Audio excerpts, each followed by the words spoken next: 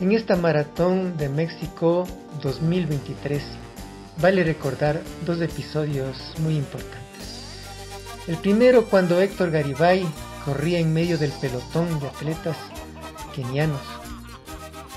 Y es ahí cuando él, al nivel de kilómetro 20, se decide rebasarlos, dejarlos atrás para siempre, con la única idea de hacerse dueño de esta maratón, de ganar esta competencia, a paso de vencedores, inalcanzable.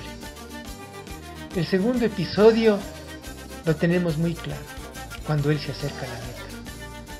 Esa actitud y esa expresión de él quedará grabado para siempre en nuestra retina. Una grande y amplia sonrisa que indica satisfacción total por el deber cumplido.